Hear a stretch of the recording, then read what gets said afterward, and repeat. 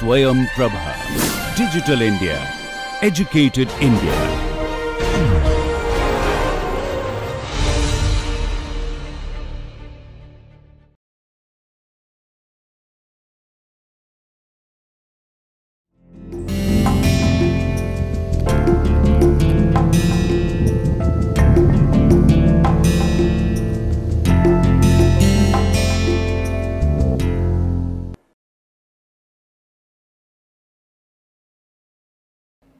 नमस्कार, प्रिय छात्रों। आज फिर हम अपने इस फाउंडेशंस ऑफ़ साइकोलॉजिकल प्रोसेसेस का जो कोर्स हम कर रहे हैं, उसके ग्यारहवें सत्र में एलेवेंथ लेक्चर में आज आप सभी का स्वागत है। और आज हम मूल रूप से इस सत्र में मेमोरी यानी स्मृति की जो प्रक्रिया है मनोविज्ञान में किस प्रकार से उसका महत्व है और किस तरह से वो प्रक्रिया होती है और उससे जुड़ी हुई बहुत जो महत्वपूर्ण बातें हैं, उन पर हम आज चर्चा करेंगे। उनको हम आज समझने का प्रयास करेंगे। साथ ही साथ स्मृति के इस जो महत्वपूर्ण, उससे जुड़े तथ्य हैं, उनकी चर्चा को पूर्ण करते हुए और उस पर अपनी एक समझ बनाते हुए हम ये भी प्रयास करेंगे कि पिछले सत्र में जो एक कॉन्सेप्ट हमारा छूट गया था जिसके बारे में मैंने आपको पिछले सत्र में बताया था कि हम उसको भी आज कोशिश करेंगे इस सत्र में थोड़ा सा उसको उस चर्चा को पूर्ण करने की। ऑब्जर्वेशनल लर्निंग की जब हम आ, बात करते हैं या उसकी जो अवधारणा है जो उसका कॉन्सेप्ट है उसको भी हम प्रयास करेंगे कि इस सत्र में उसको कंप्लीट कर लें ताकि हमारे आ, जो पिछले सत्र का जो हमने अभी तक जितना भी लर्निंग के बारे में जितना भी हमने पढ़ा है, जितना भी हमने अभी तक सीखा है, वो उसमें एक पूर्णता आ सके, क्योंकि एक बहुत महत्वपूर्ण उसका एक और कॉन्सेप्ट है लर्निंग का, और वो है ऑब्जर्वेशनल लर्निंग यानी कि प्रेक्षण अधिगम। प्रेक्षण अधिगम की जब हम बात करते हैं तो इसको एक साधारण से, उदाहरण से हम शुरू कर सकते हैं अपने जीवन के, और इसको आप इस प्रकार से लें कि जैसे आप कहीं, कभी जाते हैं और मान लीजिए आप किसी रेस्टोरेंट में गए हैं या किसी ऐसी पार्टी में गए हैं जो थोड़ी सी वहाँ पर कम लोग बैठे हैं और एक टेबल के ही इर्द गिर्द सभी लोग बैठे हैं, कोई ऑफ़िस की पार्टी हो सकती है, कोई भी पार्टी हो सकती है तो वहाँ पर एक बड़ा ही सोफिस्टिकेटेड माहौल है और वहाँ पर प्लेट के अंदर दो तीन प्रकार के चम्मच और कांटे छुरी रखे हुए हैं और आपको ये वहाँ पर रखे हुए भोजन को उनसे खाना है। लेकिन अब आपको ये नहीं पता क्योंकि पूर्व में आपने उसका कोई इस्तेमाल नहीं किया है। और अमूमन घरों में आम ज़िंदगी में लोग इस तरह के इंस्ट्रूमेंट्स का यानी इस तरह के जो बर्तन या इस तरह के जो उपकरण हैं, उनका इस्तेमाल नहीं करते। तो ऐसे में उनके सामने अब ये परिस्थिति जब आती है तो उनके लिए बड़ा मुश्किल हो जाता है समझ पाना कि अब इस परिस्थिति में वो क्या करें। तो यहाँ पर उनके पास पूर्व की कोई भी सूचना यानी पहले की कोई भी लर्निंग नहीं है। और ऐसे में उनके लिए ये बड़ा महत्वपूर्ण हो जाता है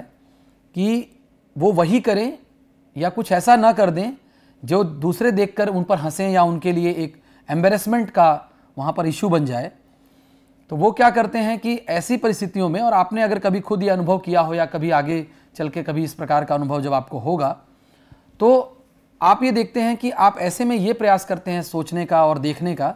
कि दूसरे लोग क्या कर रहे हैं। और दूसरे लोग किस प्रकार से उसका इस्तेमाल कर रहे हैं? और ऐसे में जब आप उनको देखते हैं और आप उनको ये किस प्रकार से उन्हें उस स्पून का या फॉर्क का कैसे इस्तेमाल किया तो वो जब आप देखते हैं और उसी तरह से फिर आप भी करने का प्रयास करते हैं। इसका एक और उदाहरण जो कि कभी कभी हमारे सामने आ जाता है। घरों में यूजली जो बाथरूम टैप्स होते हैं, जो नल होते हैं या इस प्रकार के जो भी बाथरूम में या किचन में जो सिंक में जो टैप्स होते हैं, वो यूजुअली अभी भी बहुत सारे घरों में पुराने ही तरह के टैप्स यूज़ होते हैं या बहुत आधुनिक सेंसर बेस्ड टैप्स यूज़ नहीं होते। तो ऐसे में कई बार यदि आप किसी ऐसे बड़े मॉल में या किसी ऐसी जगह पे जाएँगे, किसी ऐसे ऑफ़िस में तो वहाँ पर आप ये पाएँगे कि वहाँ के बाथरूम्स में या वहाँ के जो इस तरह की जगह हैं, वहाँ पर ऐसे सोफिस्टिकेटेड इंस्ट्रूमेंट्स लगे हैं जो सेंसर बेस्ड है। अब आपको ये समझ नहीं आ रहा कि मैं इसको कैसे चलाऊं या कैसे यूज़ करूँ। तो अगर आप किसी मॉल में गए हैं, वहाँ के किसी पब्लिक टॉयलेट को आपने यूज़ किया तो वहाँ आप देखते हैं कि फिर पानी मुझे कैसे मिलेगा। तो ऐसे में आप प्रयास करते हैं कि अगल बगल में जो व्यक्ति है या और जो दूसरे लोग आ रहे हैं, वो किस प्रकार से उसका इस्तेमाल कर रहे हैं, वहाँ पर आप उनको देखते हैं और फिर आप देखते हैं कि उन्होंने केवल नल के सामने अपना हाथ लगाया और सेंसर बेस्ड वो पानी निकलने लगा। तो फिर आप भी उसी चीज़ को दोहराते हैं। तो ये जो भी चीज़ें हम कर रहे हैं, इनको हम कहते हैं ऑब्जर्वेशनल लर्निंग यानी हमने दूसरों को देखा और उसको देखने के बाद हमने उस चीज़ को सीखा। हम केवल दूसरों को ऑब्ज़र्व करके भी सीखते हैं। जैसे वो व्यवहार करते हैं, उसी व्यवहार को हम भी दोहराते हैं या हम भी उसी तरह से करने का प्रयास करते हैं। ऑब्जर्वेशनल लर्निंग के लिए एक बहुत ही फ़ेमस एक्सपेरिमेंट किया गया। और उस एक्सपेरिमेंट का नाम है बोबोडॉल एक्सपेरिमेंट और उसमें इस प्रकार से आप इस एक्सपेरिमेंट को समझें कि एक एक्सपेरिमेंट में कुछ छोटे बच्चों को एक कमरे में बिठाया गया और वहाँ पर बिठाने के बाद उनको एक ऐसी, उनके सामने कंडीशन थी कि वो आराम से एक पारदर्शी शीशे के बाहर वो देख सकते थे और वहाँ पर एक व्यक्ति जो आया और उस व्यक्ति ने आने के बाद और वो कमरा पूरा खिलौनों से भरा हुआ था टॉयस से भरा हुआ था। और वहाँ पर उस, आने के बाद उस व्यक्ति ने वहाँ पर रखे तमाम खिलौनों के साथ खेलना शुरू किया। उनको उठाया, उनको देखा, उनके साथ खेला। लेकिन उसमें महत्वपूर्ण था एक पर्टिकुलर डॉल जिसका नाम बोबो डॉल रखा गया। उस डॉल के साथ उस व्यक्ति का व्यवहार। वो व्यक्ति जब कमरे में आया तो बाकी सभी खिलौनों पर ध्यान देने के बाद, खेलने के बाद जब वो बोबो डॉल के पास गया तो ये उसको पहले से निर्देश था कि उसको क्या करना है। और ठीक उसी प्रकार से उस व्यक्ति ने उस डॉल को उठाया और उसको पंच किया, यानी उस पर मुक्के मारे और उसको खरी खोटी सुनाई और उसको मिसट्रीट किया, यानी उसको अपमानित किया। इस प्रकार से उसने एक व्यवहार जो उसको पहले से निर्देशित पहले से निर्देशित था, इस प्रकार से उसने किया। और उसके इस व्यवहार को बच्चों ने देखा ऑब्ज़र्व किया। और उसके बाद, उन बच्चों को कुछ समय के बाद, एक इसी तरह के कमरे में, जहाँ पर वो सभी खिलौने, वो सभी मौजूद थे, जो उन्होंने अभी थोड़ी देर पहले देखे थे। और इसमें ये पाया गया कि, और इसमें दो कंडीशंस रखी गई। एक कंडीशन वहाँ, जहाँ मैंने आपको जैसा बताया, उसमें उस व्यक्ति ने उस बोबो डॉल के साथ जो व्यवहार किया, उसको पंच किया, उसको एब्यूज़ किया, उसको अपशब्द कहे उस, उसको अपमानित किया, इस प्रकार का व्यवहार किया, और उसके बाद एक दूसरी कंडीशन जहाँ पर कि एक व्यक्ति आया और उसने सामान्य रूप से कोई ऐसा व्यवहार प्रदर्शित नहीं किया और बस हर खिलौने को उठा करके उसने खेला। और बच्चों में ये देखा गया कि जिन बच्चों को ये दिखाया गया कि उस व्यक्ति ने किस प्रकार से बोबो डॉल को ट्रीट किया तो उन बच्चों में भी ये व्यवहार देखने को मिला। यानी कि उन्होंने भी कहीं ना कहीं बोबो डॉल के साथ वही व्यवहार रिपीट किया जो उस व्यक्ति ने किया था। उसको पंच करना, उसको उसी तरह से खरी खोटी सुनाना, उसको डांट लगाना, उसको अपमानित करना। इस प्रकार का जो व्यवहार उस व्यक्ति ने प्रदर्शित किया, उसी सीक्वेंस में बच्चों ने भी उस व्यवहार को दिखाया या दर्शाया। तो ये और जो दूसरी कंडीशन में जो बच्चे थे, जिन्होंने इस तरह का कोई व्यवहार उनके सामने नहीं किया गया था जो भी एक्सपेरिमेंट में जो व्यक्ति था, उसने ऐसा कोई व्यवहार प्रदर्शित नहीं किया था उनके सामने। जो दूसरी कंडीशन के जो बच्चे थे तो उन्होंने भी इस प्रकार का कोई व्यवहार बोबोडॉल के साथ नहीं किया। तो इस स्टडी के बाद ये निष्कर्ष निकाला गया कि हम ऑब्ज़र्व करके, दूसरों को ऑब्ज़र्व करके सीखते हैं और उसके आधार पर हम अपना व्यवहार भी करते हैं। यानी कि जिन बच्चों ने एक व्यक्ति को बोबोडॉल के साथ मारपीट करते हुए देखा उन्होंने वही चीज़ दोहराई और जिन बच्चों ने ऐसा कुछ नहीं देखा, उन्होंने ऐसा कोई व्यवहार प्रदर्शित नहीं किया। तो इस तरह की जो एक महत्वपूर्ण स्टडी हुई, जो एक एक शोध किया गया, उससे ऑब्जर्वेशनल लर्निंग की पावर और उसका महत्व उसको दर्शाया गया। इसके साथ इसके साथ साथ ऑब्जर्वेशनल लर्निंग से जुड़े हुए कुछ महत्वपूर्ण सिद्धांत हैं, जिसमें ऑब्जर्वेशनल लर्निंग होने के लिए और उसको प्रभावित करने के लिए चार महत्वपूर्ण कारक हैं। चार महत्वपूर्ण उसके डिटेल्स हैं, जिसमें एक है अवधान, यानी अटेंशन और अटेंशन में ये महत्वपूर्ण है कि व्यक्ति, जो भी व्यक्ति कुछ भी वो देख रहा है या कुछ भी उसके सामने प्रस्तुत हो रहा है, वो उसको अटेंड करे। यानी उस पर उसका अवधान जाना चाहिए। अगर वो वहाँ पर अटेंड नहीं कर रहा है तो वो उसको ऑब्जर्वेशनल लर्निंग उसकी पूरी नहीं हो पाएगी। तो ऑब्जर्वेशनल लर्निंग के लिए जो सबसे महत्वपूर्ण बात है, वो है कि उसका, व्यक्ति का उस बिहेवियर के प्रति अटेंशन होना, जिसको कि उसे ऑब्ज़र्व करना है। दूसरी महत्वपूर्ण बात जो इससे जुड़ी हुई है इसी क्रम में, वो है ऑब्जर्वेशनल लर्निंग होने के लिए उस व्यक्ति को उसे स्मरण करना होगा, यानी उसको मेमोरी उसकी डेवलप करनी होगी, जिसकी चर्चा हम लोग आगे अपने इस सत्र में करेंगे भी। तो मेमोरी की फॉर्मेशन बहुत इंपॉर्टेंट है, क्योंकि उसने जो भी अटेंड किया है, जो भी उसने प्राप्त की है सूचना, उसको उसे याद करना ज़रूरी है ताकि भविष्य में वो उसे दोहरा सके। इसके लिए उसका याद होना ज़रूरी है। और स्मरण करने के बाद जो तीसरी प्रक्रिया, जो तीसरा उसका कारक है, जो बहुत महत्वपूर्ण है, वो है उसका प्रस्तुतिकरण, यानी कि प्रोडक्शन प्रोसेस अब जो भी व्यवहार उसने देखा है उस बच्चे ने या उस व्यक्ति ने उसको, उस व्यवहार को, उसको रिपीट भी करने के लिए उसकी क्षमताएँ पूरी होनी चाहिए। जैसे यदि हमने किसी को कोई कार्य करते हुए देखा है तो उसके लिए हमारे पास भी वही क्षमताएँ होनी चाहिए, वही काबिलियत होनी चाहिए, ताकि हम उसको दोबारा प्रोड्यूस कर सकें उस बिहेवियर को, उसको हम पुनः कर सकें। वरना अगर हमारे पास वो क्षमता नहीं होगी तो भले ही हमने ऑब्ज़र्व किया हो कुछ, लेकिन ऑब्जर्वेशनल लर्निंग भी हुई होगी लेकिन हम उसको प्रदर्शित नहीं कर पाएँगे उसको हम अपने अपने व्यवहार में नहीं ला पाएँगे क्योंकि हमारे अंदर वो क्षमता या वो काबिलियत नहीं है कि हम उसको प्रोड्यूस कर सकें। तो इस प्रकार से ये आ, इसको हम अगर इसको उदाहरण के लिए समझना चाहें तो जैसे हम किसी बड़े व्यक्ति को अगर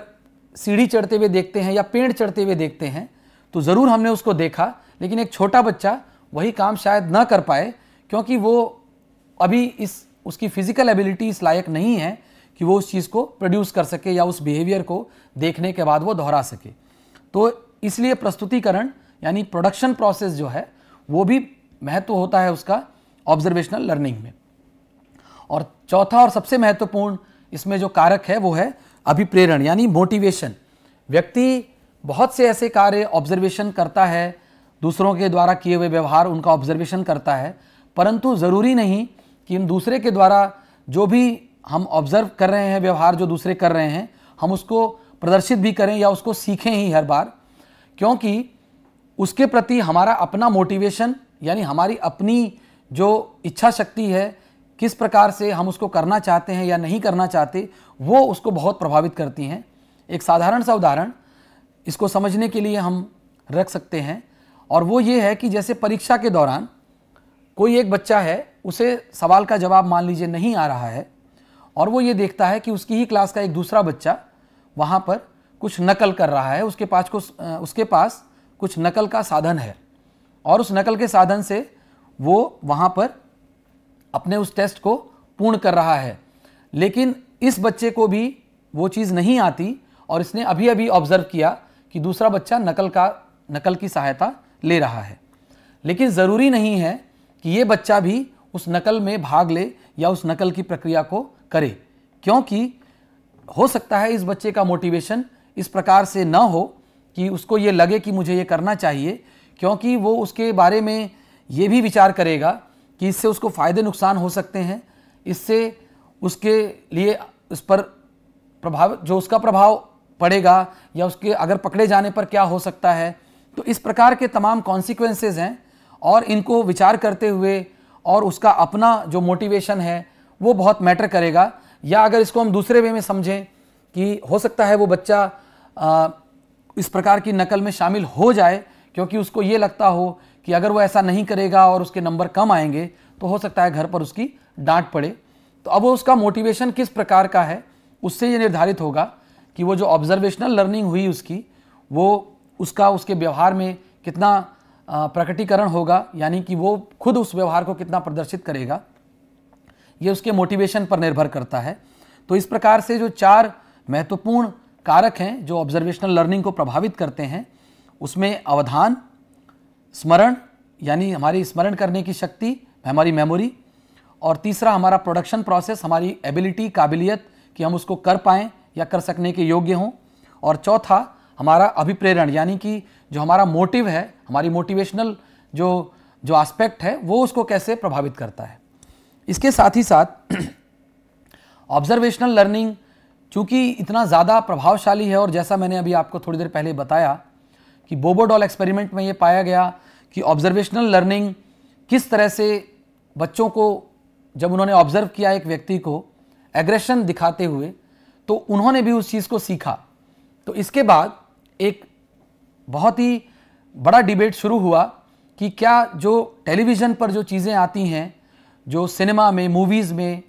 सीरियल्स में जो चीज़ें दिखाई जाती हैं, क्या वो उसमें जो वायलेंस हमें दिखाया जा रहा है, क्या वो हमारे अंदर के एग्रेसिव बिहेवियर को, यानी आक्रामकता को, क्या वो बढ़ाता है,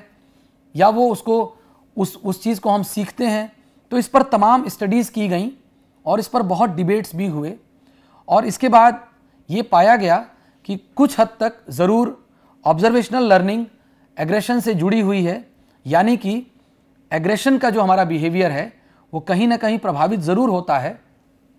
परंतु हाँ ये कहना कि पूरी तरह से हम एग्रेशन ही करेंगे ऑब्जर्वेशनल लर्निंग के वजह से या यदि हमने आ, कह लीजिए कि अगर सिनेमा में देखा है या टीवी में देखा है और हाईली वायलेंट सीन्स अगर हम देख रहे हैं तो हम, उसके बाद हम उतने ही वायलेंट हो जाएँगे। तो ये इसमें मिले जुले रिजल्ट्स मिले हैं और इसमें ये पाया गया है कि ये कुछ हद तक सही भी है, लेकिन उस स्तर तक सही नहीं है कि पूरी तरह से व्यक्ति ऑब्ज़र्व करने के बाद उस चीज़ को सीख लेता है। तो ये पूर्ण रूप से सही भी नहीं है, लेकिन फिर भी ऑब्जर्वेशनल लर्निंग और एग्रेशन के बीच में एक संबंध पाया गया है। इसके बाद ऑब्जर्वेशनल लर्निंग का एक और उदाहरण हम इसको इस्तेमाल कर सकते हैं। ये समझने के लिए कि किस प्रकार से ऑब्जर्वेशनल लर्निंग का हम उपयोग कर सकते हैं अप्लाइड एस्पेक्ट उसका क्या है। तो ऑब्जर्वेशनल लर्निंग के से रिलेटेड एक बहुत ही महत्वपूर्ण स्टडी की गई, जिसमें जो ये स्टडी अमेरिका में हुई थी और वहाँ पर एक शहर के बच्चों को वहाँ पर एक टीवी टीवी का उनको एक शो दिखाया गया, जिसमें एक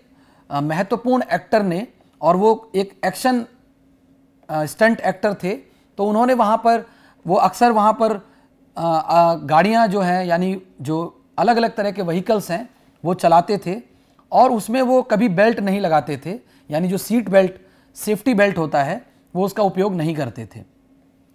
तो उन बच्चों को ये दिखाने के बाद और उन बच्चों को उसके बाद ये भी दिखाया गया आगे कि किस प्रकार से जो सीट बेल्ट्स नहीं लगाते हैं, उसका कितना दुरुपयोग उसकी वजह से उनको कितना नुकसान होता है और इसकी वजह से जो एक्सीडेंट्स होते हैं, उसमें जो कैजुअलिटी है, यानी जो उसमें क्षति होने की जो संभावना है, वो कितनी ज़्यादा बढ़ जाती है। तो इस प्रकार के भी वीडियोज़ उनको दिखाए गए बच्चों को और इस बारे में उनको जानकारी दी गई।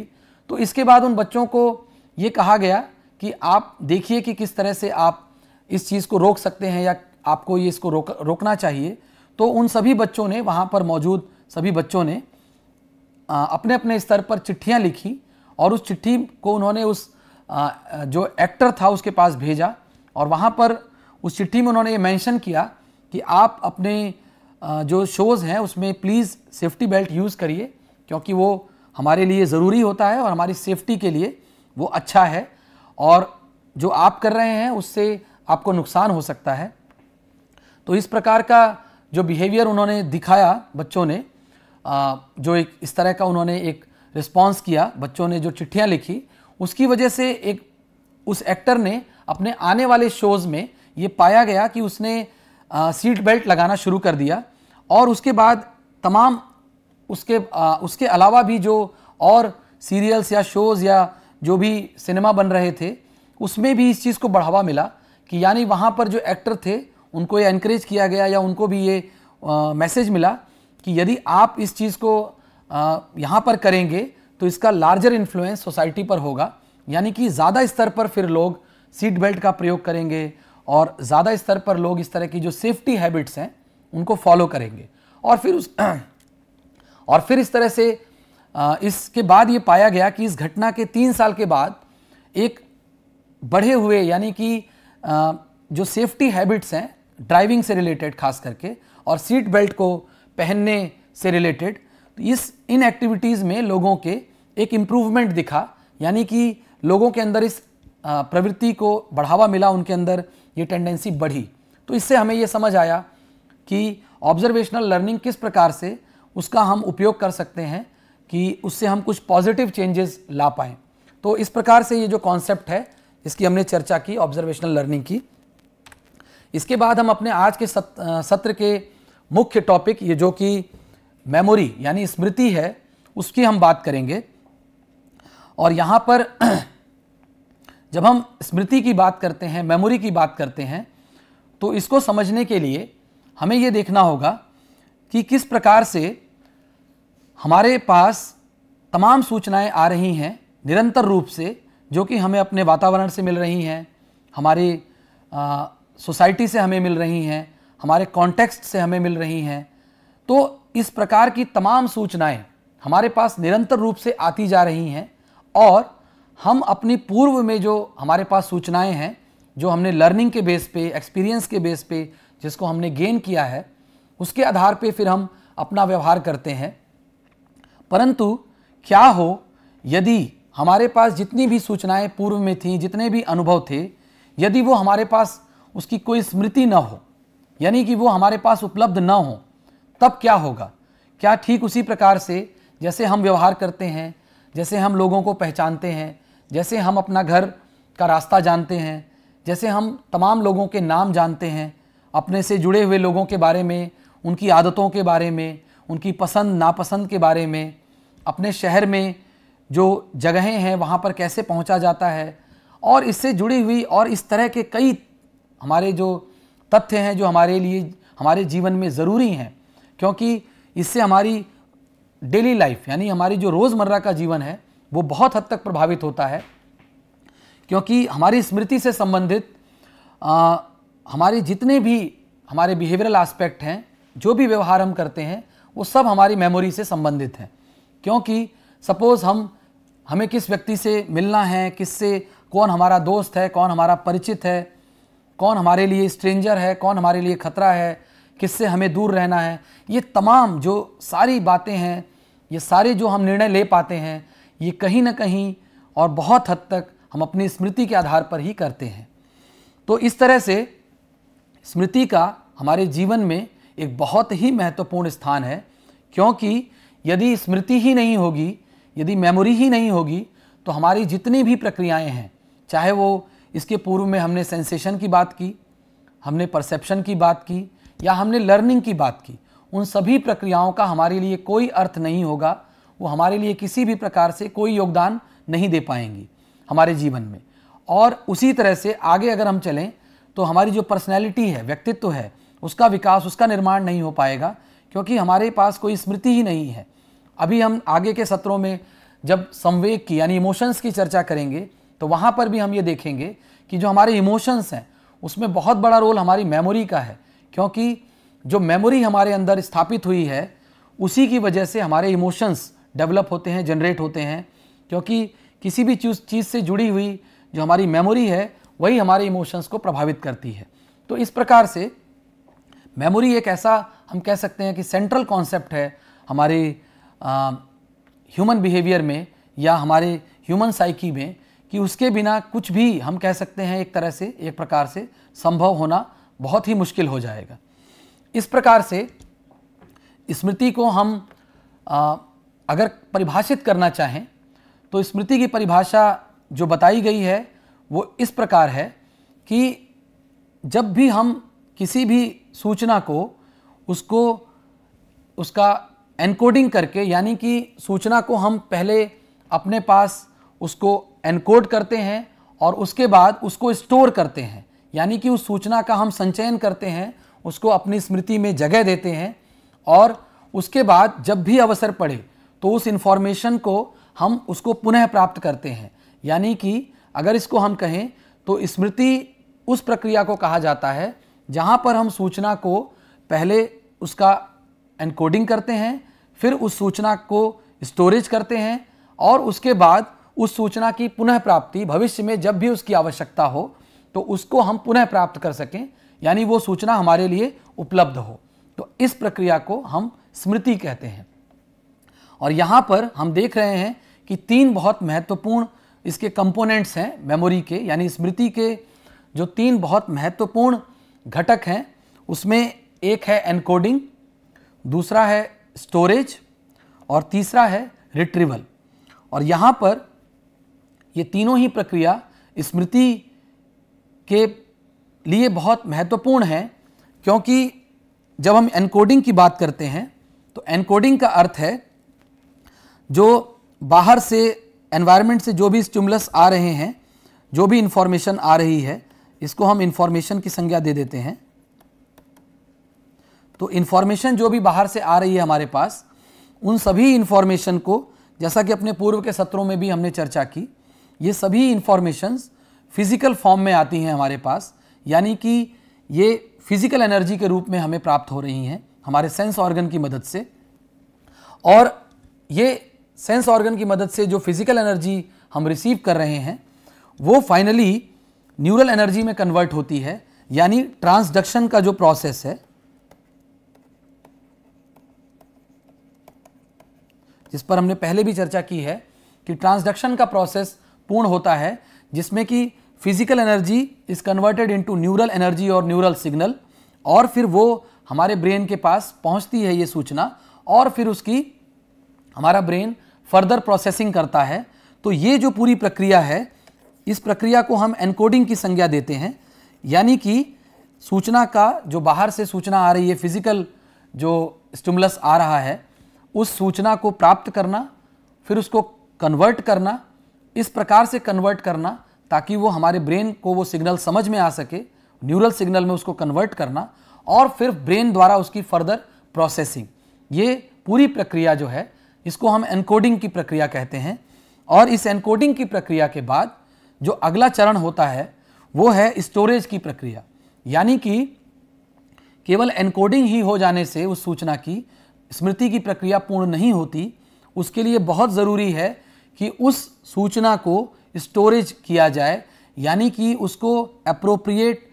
जगह पर उसको रखा जाए ब्रेन में, और इसको हम इस तरह से समझ सकते हैं कि इस प्रकार की जो प्रक्रिया है, जो स्टोरेज है, ये न्यूरल पाथवेज के द्वारा, यानी न्यूरल ट्रेस के द्वारा ये जनरेट होती है,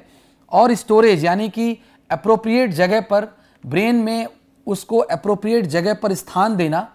और उस सूचना को वहाँ पर स्टोर करना, ताकि भविष्य में, जब हम अपने आखिरी कंपोनेंट जो मेमोरी का है, जो रिट्रीवल उसकी जब बात करेंगे तो वहाँ पर स्टोरेज की प्रक्रिया यदि पूर्ण नहीं हुई है तो रिट्रीवल की संभावना नहीं होती,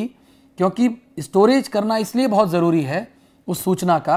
ताकि भविष्य में जब भी हमें उसकी आवश्यकता हो तो हम उस सूचना को पुनः प्राप्त कर सकें, यानी कि उसको हम रिट्रीव कर सकें उस सूचना को। इसलिए ये तीनों ही जो कारक हैं, जो स्मृति की प्रक्रियाएँ हैं, ये बहुत महत्वपूर्ण हैं। जिसमें पहला एनकोडिंग है, दूसरा स्टोरेज है, उस सूचना को सही जगह पर उसको स्थापित करना, उसको रखना, ताकि जब भविष्य में हमको उसकी आवश्यकता हो तो हम उसको रिट्रीव कर सकें, यानी वहाँ से हम उसको दोबारा से प्राप्त कर सकें और उसका यूज़ कर सकें। इसलिए ये तीनों ही प्रक्रियाएँ जब पूर्ण होती हैं, तब हम कह सकते हैं कि स्मृति की स्मृति हमारी वहाँ पर बनी है या हमारे पास स्मृति है, अगर ये तीनों प्रक्रियाओं में किसी भी स्तर पर कोई भी चूक हो जाती है या किसी भी तरह से वहाँ पर फेलियर होता है तो स्मृति की प्रक्रिया पूर्ण नहीं हो पाती। जब हम स्मृति की बात करते हैं और स्मृति के महत्व की बात करते हैं तो साथ ही साथ एक नाम आता है एबिंग हॉस का, हरमन एबिंग हॉस जो कि एक जर्मन साइकोलॉजिस्ट हैं। और इन्होंने एक बहुत ही महत्वपूर्ण शोध किया इस क्षेत्र में, और इनका शोध यहाँ पर उसकी चर्चा करना इसलिए महत्वपूर्ण हो जाता है क्योंकि जिस समय इन्होंने इस शोध को आरंभ किया, उस समय इनके पास, जैसे आज हमारे पास इनके द्वारा किए गए शोध की वजह से बहुत सारी जानकारियाँ पहले से उपलब्ध हैं और हमारे पास बहुत सी शोध विधियाँ और किस तरह से हम मेमोरी को फर्दर एग्ज़ामिन करें, उसको एक्सप्लोर करें, उसको समझने के लिए किस तरह से एक्सपेरिमेंट्स हम डिज़ाइन करते हैं। ये बहुत हद तक इस सभी का श्रेय हरमन एबिंग हॉस को जाता है, क्योंकि इन्होंने उस दौर में एक ऐसा तरीका इन्होंने यूँ कह सकते हैं कि उसको खोजा, क्योंकि स्मृति की जो प्रक्रिया है, उसकी स्टडी साइंटिफिक स्टडी बड़ी मुश्किल होती, क्योंकि हम उन चीज़ों के बारे में जो कि हम पहले से जानते हैं जब हम उसकी स्टडी करते हैं तो हम वहाँ पर स्मृति की प्रक्रियाओं की चर्चा या उसकी समझ नहीं बना पाएँगे, क्योंकि वो हमारे पास पहले से वो सूचना मौजूद है तो हम ये नहीं देख पाएँगे एक्सपेरिमेंटल तरीके से जो कॉज एंड इफ़ेक्ट हम इस्टेब्लिश करते हैं, कि वो हम उसको कर पाने में कि किस कारण से और किन फैक्टर्स से हमारी स्मृति प्रभावित होती है, उसका जो बनने की जो प्रक्रिया है वो कैसे पूर्ण होती है, इन सभी पर शोध नहीं हो पाते। इसलिए हरमन एबिंग हॉस का जो योगदान है, वो बहुत ही ज़्यादा महत्वपूर्ण है। और इसमें इसकी एक छोटी सी चर्चा हम यहाँ करेंगे। उन्होंने अपने इस एक्सपेरिमेंट में जो यूज़ किया था, जो मटेरियल इसलिए उसको नॉन सेंस सेलेबल्स यानी कि जिसका कोई अर्थ नहीं होता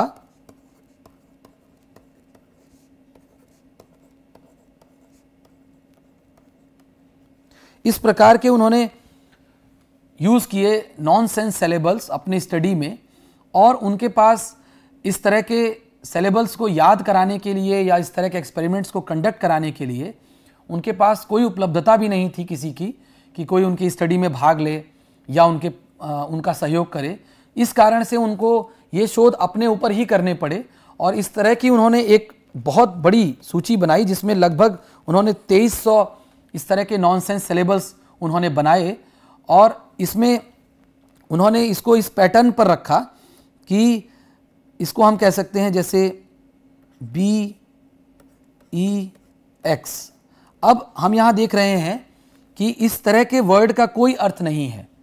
और इस तरह के उन्होंने बहुत से वर्ड्स क्रिएट किए। अगर हम इसको एक उदाहरण के लिए एक और बनाना चाहें तो पी ए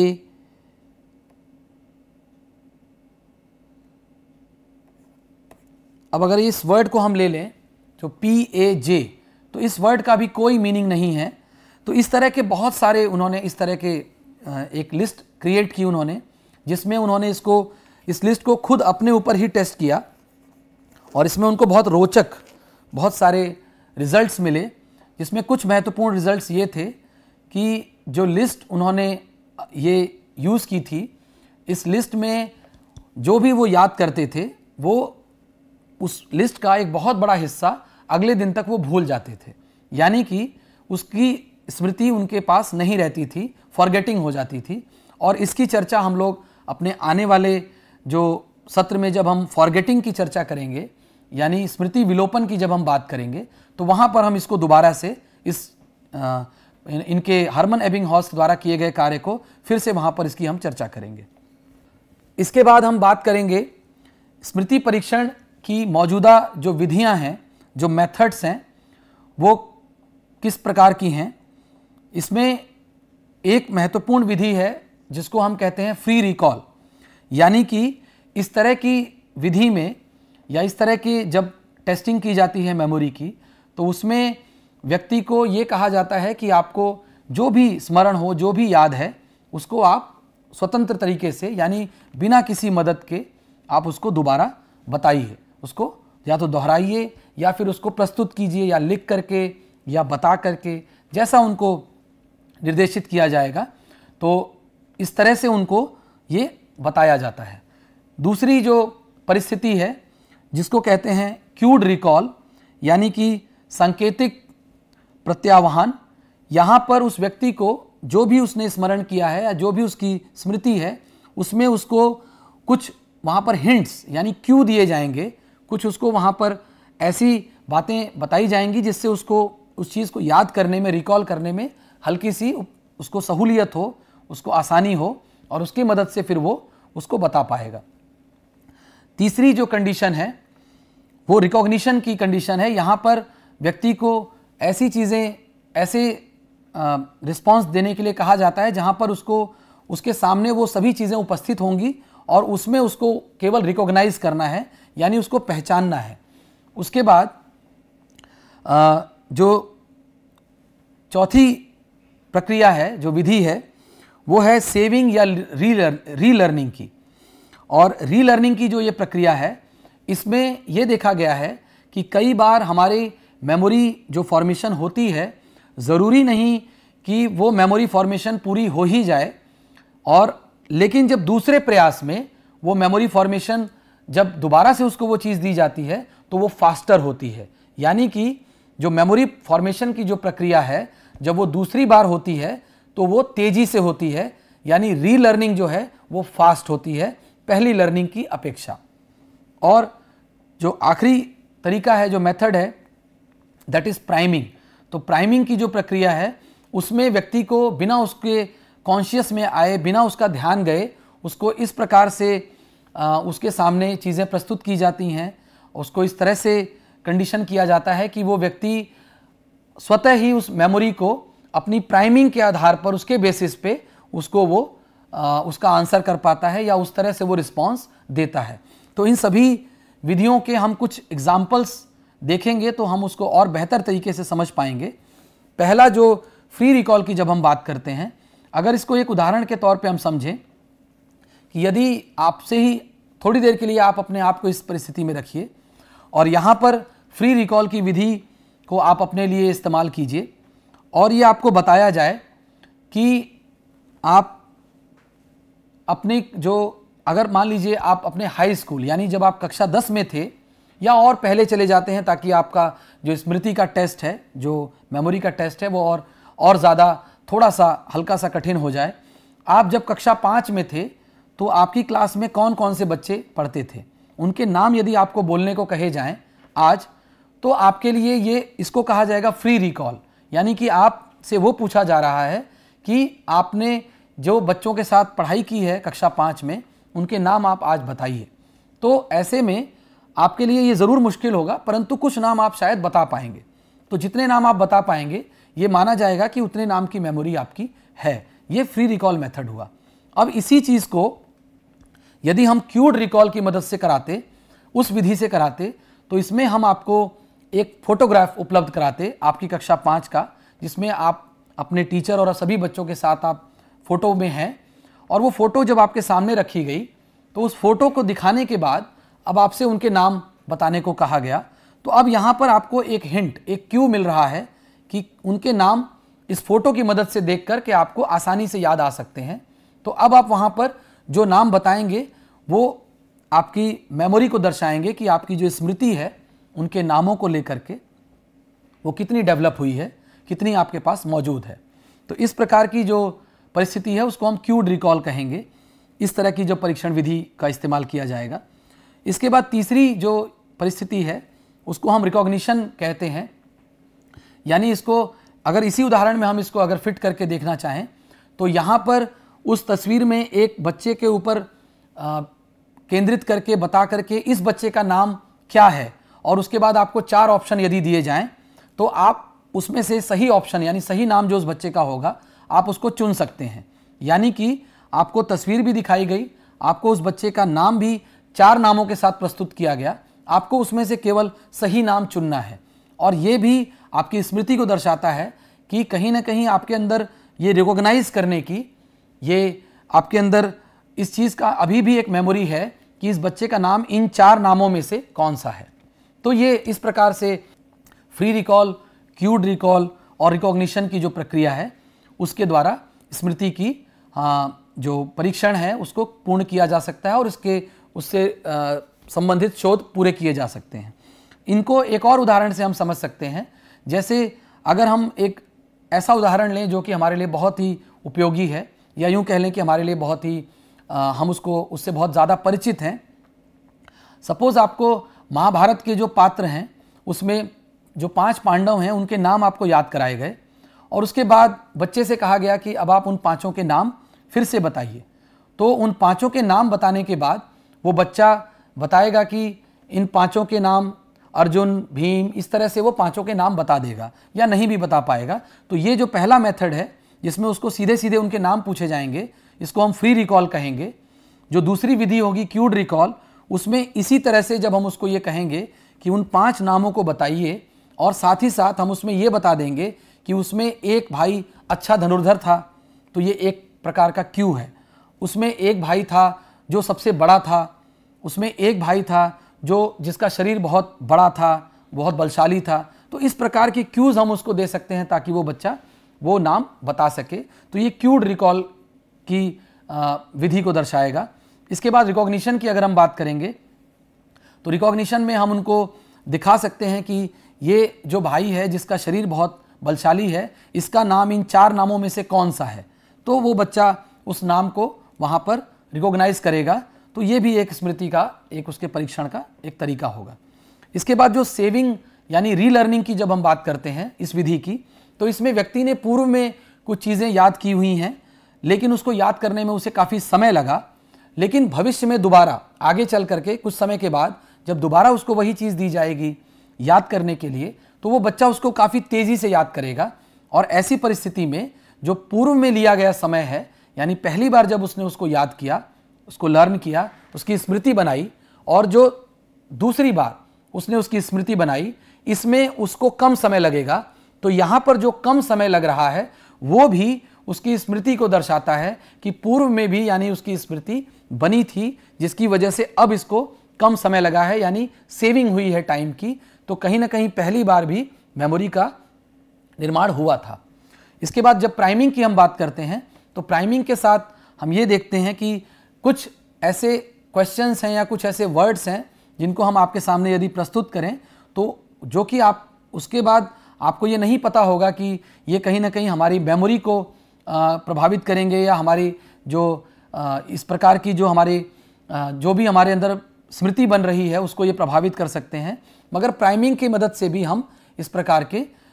कर सकते हैं एक परीक्षण स्मृति का। जैसे एक उदाहरण के लिए अगर हम कुछ एक लिस्ट बनाएँ बच्चों को और उसमें दो तीन वर्ड्स दें उनको।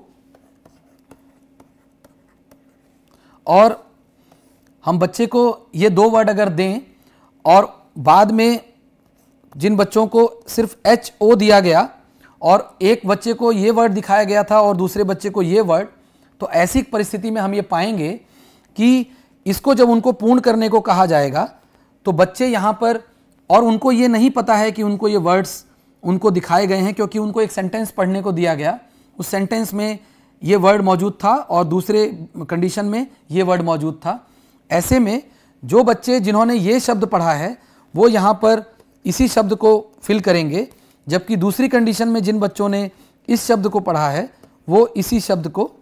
पूर्ण करेंगे। तो ये दर्शाता है कि हमने पूर्व में अभी हमारी कोई स्मृति बनी, जिसके बारे में हम पूरी तरह से अवेयर नहीं थे, पूरी तरह से हम उसको लेकर के भिज्ञ नहीं थे, लेकिन फिर भी कहीं ना कहीं उस हमारी मेमोरी में उसको स्थान मिला और उसकी वजह से जो हमने वर्ड जो कंप्लीट किया या जो हमने आगे जो जो चीज़ की, उसमें उसका प्रभाव दिखा। तो इस तरह से प्राइमिंग के मेथड से भी हम स्मृति की जो टेस्टिंग है मेमोरी की जो टेस्टिंग है, उसको हम कर पाते हैं। इसके बाद हम बात करेंगे स्मृति का सूचना संसाधन मॉडल है, उसकी हम चर्चा करेंगे। अब आगे हम चर्चा करेंगे स्मृति का सूचना संसाधन मॉडल यानी कि स्मृति को समझने के लिए बहुत सारे अलग अलग मॉडल्स या उसके थियरीज दी गई, सिद्धांत दिए गए, जिसमें से एक बहुत महत्वपूर्ण है इंफॉर्मेशन प्रोसेसिंग मॉडल जिसमें ये देखा गया कि जो सूचना आ रही है, उस सूचना को हमारे द्वारा कई स्तर पर उसकी प्रोसेसिंग हो रही है अलग अलग स्तर पर, और इससे रिलेटेड एक बहुत ही महत्वपूर्ण मॉडल जो कि बहुत ज़्यादा जिस पर चर्चा भी हुई और बहुत ज़्यादा इस पर हम कह सकते हैं कि ये इसको माना गया कि ये बहुत उपयोगी है, हमारी जो मेमोरी सिस्टम है, जो मानव का, जो स्मृति का जो पूरी प्रक्रिया है, उसको समझने के लिए ये सिस्टम बहुत ही ज़्यादा उपयोगी है। वो एटकिंसन एंड शिफरीन द्वारा ये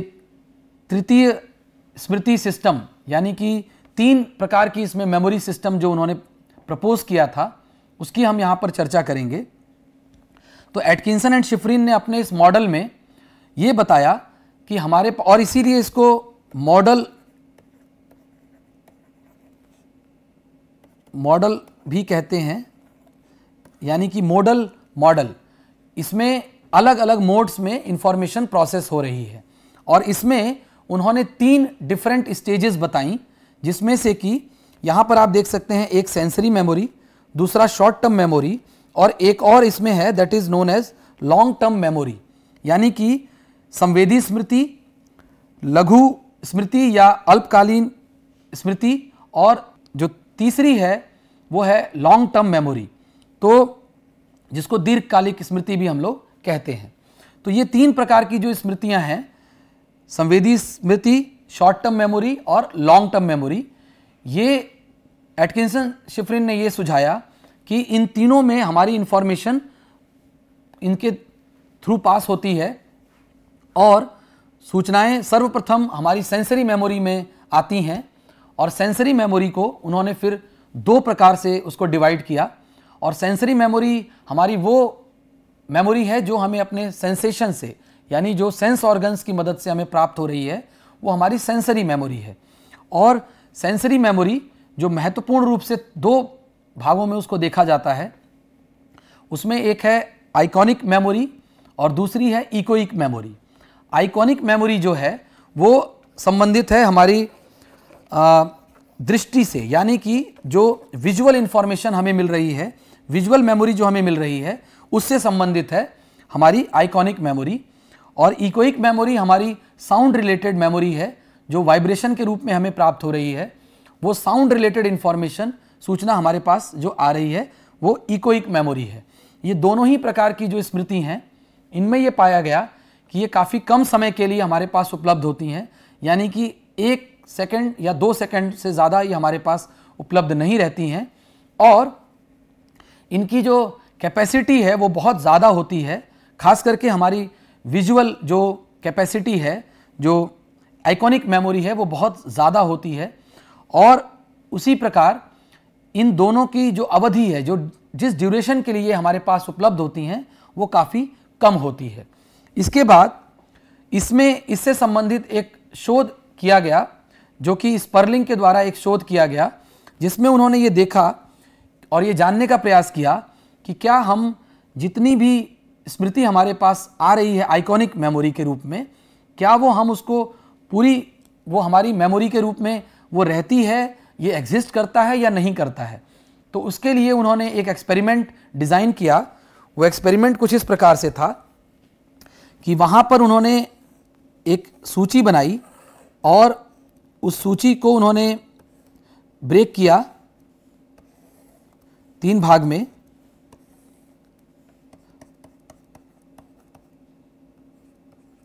और ये यहाँ पर उसको उन्होंने जोड़ा। एक सिग्नल से। सपोज़ यहाँ पर एक वर्ड आया एच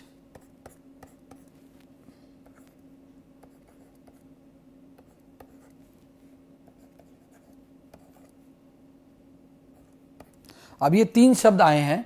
जो कि स्क्रीन पर उनको दिखाए जाएँगे। एक सबसे ऊपर, एक बीच में और एक सबसे नीचे। और इस प्रकार के शब्द जब आएँगे तो उनको सिग्नल यहाँ पर दिया जाएगा कि एक हाई साउंड, एक मीडियम साउंड और एक लो साउंड। इसको हम इस प्रकार से समझें कि एक सिग्नल होगा जब जो साउंड आएगी वो बहुत तेज़ होगी, तीव्र होगी। एक दूसरी साउंड आएगी जो मीडियम साउंड की होगी, यानी उसकी आवाज़ मध्यम गति की होगी, और तीसरी आएगी, वो बहुत हल्की साउंड होगी। और इसके साथ उनको ये निर्देश दिया गया कि जब हाई साउंड आएगी तो आपको स्क्रीन पर मौजूद जो सबसे टॉप में जो वर्ड है, आपको उसको याद करना है या उसको बताना है। फिर जब धीमी साउंड आएगी तो आपको जो बीच में जो शब्द आपने देखा, वो बताना है। और जब लो साउंड आएगी तो जो सबसे नीचे शब्द आपने देखा स्क्रीन पर, वो आपको बताना है। तो इस प्रकार के एक्सपेरिमेंट में जो पाया गया, निष्कर्ष जो निकला कि जब लोगों को तात्कालिक रूप से उनसे पूछा गया कि यानी कि दशमलव एक पाँच सेकेंड पर जब उनको ये साउंड दी गई, सिग्नल दिया गया कि कौन सा आपको वर्ड बताना है तो उनका जो जो उनको जितना वो सही बता पाए, करेक्ट रिस्पॉन्स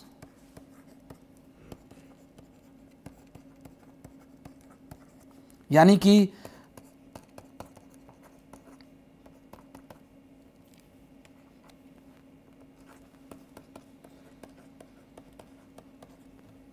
यहाँ पर आप देखेंगे कि यहाँ ये दर्शाता है, ये एक्सिस दर्शाता है कि कितने रिस्पॉन्स उन्होंने सही बताए।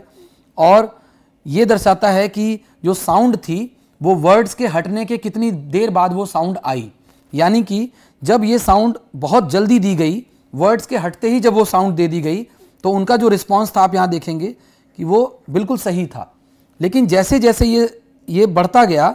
और यहाँ पर एक सेकेंड जब बीत गया और एक सेकेंड बीतने के बाद जब ये साउंड आई तो अब उनको ये मुश्किल हो पाया उनके लिए कर पाना, ये ध्यान लगा पाना अपनी स्मृति में, आइकॉनिक स्मृति में, कि कौन सा वर्ड उनको यहाँ पर बताना है। तो चूँकि ऐसी परिस्थिति में आप ये देख सकते हैं कि यहाँ पर उनकी परफॉर्मेंस, जो करेक्ट रिस्पॉन्स है उसमें काफ़ी गिरावट आई है। तो इससे हमें ये प्रदर्शित होता है कि जो आइकॉनिक मेमोरी है, वो हमारे पास मौजूद है और वो काफ़ी कम समय के लिए मौजूद है, लेकिन जितने देर के लिए वो मौजूद है, उसमें हम उस सभी चीज़ों को हम याद कर सकते हैं या मेमोराइज कर सकते हैं। यानी कि उसमें उस दौरान आइकॉनिक स्मृति में जो भी चीज़ें हमारे पास हैं, वो पूर्ण रूप से उपलब्ध हैं। तो इस प्रकार के एक एक्सपेरिमेंट से उन्होंने आइकॉनिक मेमोरी को स्टैब्लिश किया कि इसका, इसकी मौजूदगी और इसका जो, इसके जो गुण हैं, उसको उन्होंने प्रदर्शित किया स्पर्लिंग ने। इसके बाद हम बात करते हैं शॉर्ट टर्म मेमोरी की। तो शॉर्ट टर्म मेमोरी की जब हम बात करते हैं तो शॉर्ट टर्म मेमोरी एक ऐसी मेमोरी है जहाँ पर कि सेंसरी मेमोरी से पास होने के बाद, यानी उससे गुजरने के बाद, जो सूचना हमारे पास अब आगे पहुँच रही है, वो शॉर्ट टर्म मेमोरी है। और यहाँ पर आप याद करेंगे कि जो ब्रॉडबैंड और एनी ट्रीजमेंट का जो हम लोगों ने अपने जब अटेंशन का जब हम लोग चर्चा कर रहे थे एक सत्र में तो वहाँ पर देखा था कि किस प्रकार से जो सूचनाएँ आ रही हैं वो बहुत ज़्यादा संख्या में हमारे पास आ रही हैं जो एनवायरनमेंट से आ रही हैं और किस प्रकार से वो सभी जो सूचनाएँ जो ज़्यादा संख्या में हमारे पास पहुँच रही हैं वो किस प्रकार से आ, हम उसको सभी सूचनाओं को प्रोसेस नहीं करते तो वहाँ पर बॉटल की स्थिति आ जाती है और वहाँ से कम सूचनाएँ आगे जा पाती हैं। तो इसके बारे में हमने वहाँ पर चर्चा की थी। तो उसको यहाँ पर याद रखते हुए आपको ये ध्यान देना है कि सेंसरी मेमोरी में आई हुई सभी सूचनाएँ, वो हमारी शॉर्ट टर्म मेमोरी में ट्रांसफ़र नहीं होती और वो शॉर्ट टर्म मेमोरी में केवल वही सूचनाएँ जो हमारे लिए महत्वपूर्ण हैं या हमारे लिए रेलेवेंट हैं, ज़रूरी हैं, वही आगे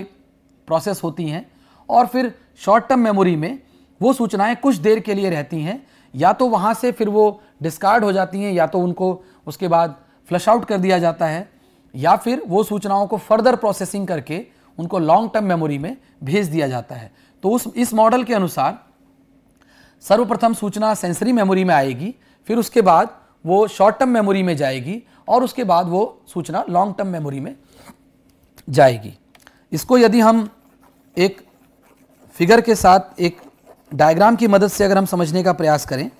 जो एटकिंसन एंड शिफरिन का मॉडल है तो सूचना सर्वप्रथम सेंसरी मेमोरी में आएगी।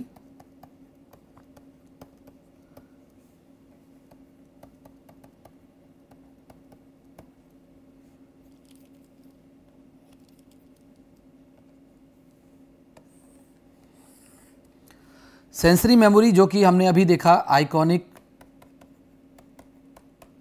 और इकोइक, दोनों ही प्रकार की होगी। उन दोनों सूचनाओं को फिर वो फर्दर आगे जाएँगी, वो हमारे शॉर्ट टर्म मेमोरी में। और फिर शॉर्ट टर्म मेमोरी से वो सूचनाएँ हमारी लॉन्ग टर्म मेमोरी में प्रेषित होंगी। और शॉर्ट टर्म मेमोरी में वो सूचना काफ़ी कम अवधि के लिए रहती है, यानी कि शॉर्ट टर्म मेमोरी में कोई भी सूचना अधिक से अधिक 18 से लेकर के 30 सेकंड तक के लिए ये शोध से इसको निर्धारित किया गया है कि कोई भी सूचना जो हमारी शॉर्ट टर्म मेमोरी में रहती है, वो 18 से 30 सेकंड के लिए ही उपलब्ध होती है और साथ ही साथ जो शॉर्ट टर्म मेमोरी की जो कैपेसिटी है, वो भी बहुत कम है और इसको भी प्लस माइनस सेवन के अराउंड इसको रखा गया है कि इस, इतनी ही सूचना हमारी शॉर्ट टर्म मेमोरी एक बार में होल्ड कर पाती है। और अगर कोई सूचना को हम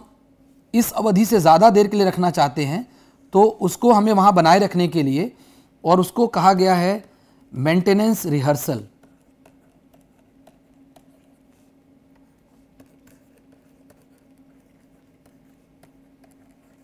यानी जब उस सूचना को हमें अगर लंबे समय के लिए शॉर्ट टर्म मेमोरी में बनाए रखना है तो वहाँ पर हमें मेंटेनेंस रिहर्सल करना होगा। और इसका हम उदाहरण एक ले सकते हैं, जैसे अगर आपके सामने कोई फ़ोन नंबर या कोई पर्टिकुलर एक महत्वपूर्ण अंक आपको बताया जाए जो आपको याद रखना है तो आप उसको कुछ देर तक अपने दिमाग में उसको दोबारा दोबारा आप उसको बोलते रहते हैं आप उसको बार बार उसको बोलते रहते हैं ताकि वो आपके पास रहे। लेकिन यदि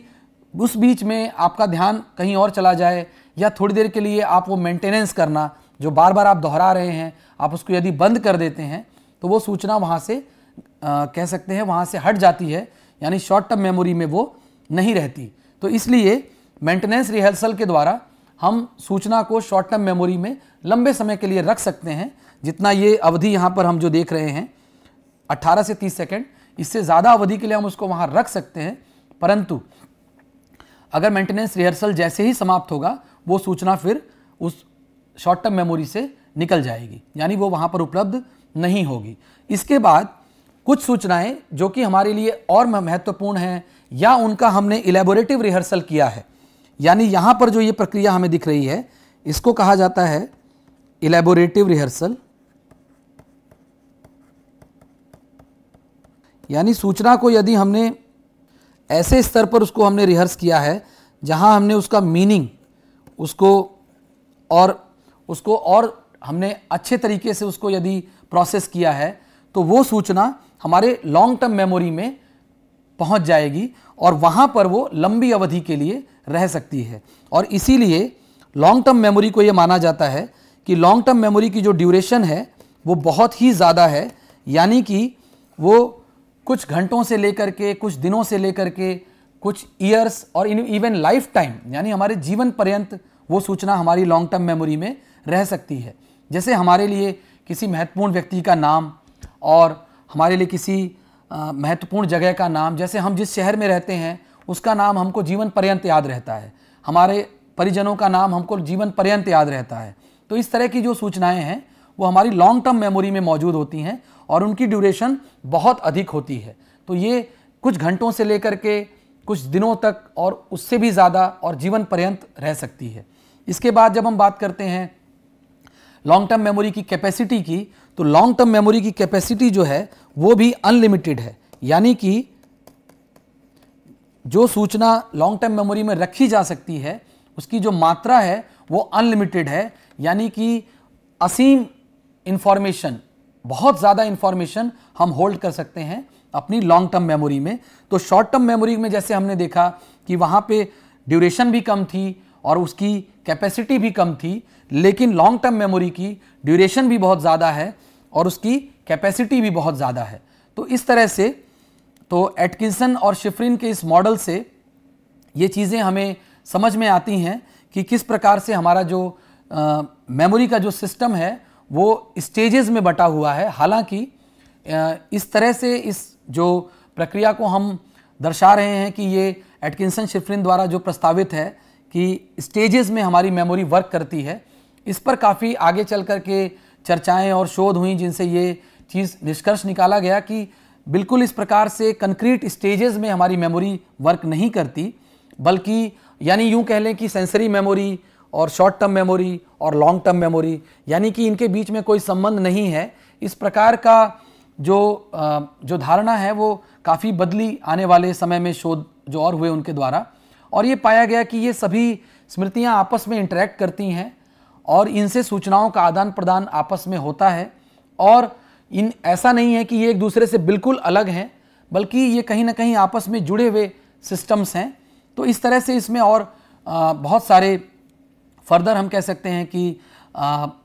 और ज़्यादा इस पर कार्य हुए, जिससे ये स्थापित किया गया कि ये जो मेमोरी का हमारा जो सिस्टम है, ये बिल्कुल स्टेज वाइज ना हो करके हाँ ये ज़रूर इसमें इस मॉडल की ये खूबी और ये इसकी हम कह सकते हैं कि ये उसका एक बहुत बड़ा एडवांटेज है कि इसने मेमोरी के जो सिस्टम्स हैं, इनको, इसने यहाँ पर स्थापित किया कि हमारे पास sensory memory short term memory और लॉन्ग टर्म मेमोरी की जो कैपेसिटी है, वो मौजूद है। और इसके साथ ही साथ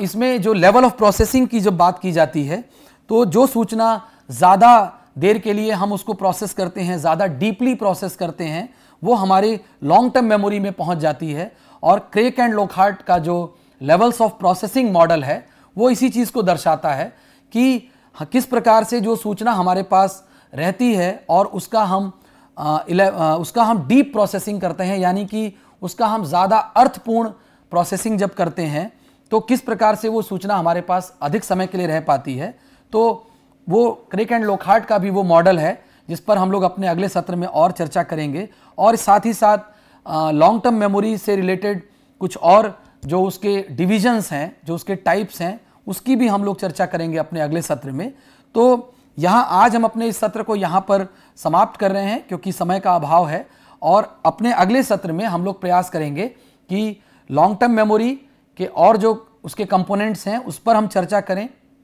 साथ ही साथ जो क्रेक एंड लॉकहार्ट का जो मॉडल है जो डीप प्रोसेसिंग का, उसकी भी हम चर्चा करेंगे। और उसके अलावा हम और स्मृति से जुड़े हुए कुछ महत्वपूर्ण जो तथ्य हैं और साथ ही साथ स्मृति विलोपन, यानी फॉरगेटिंग से रिलेटेड जो महत्वपूर्ण तथ्य हैं, उन पर भी हम चर्चा करेंगे। तो आज के अपने इस सत्र को हम यहाँ पर समाप्त करते हैं और आशा करते हैं कि आपको आज का ये सत्र इससे आपको लाभ हुआ होगा और इससे आपकी जो स्मृति की जो प्रक्रिया है, उसकी एक जो समझ है, उसको आप, आज उस उस, आपकी वो समझ आज कुछ बेहतर हुई होगी इस सत्र के बाद। धन्यवाद।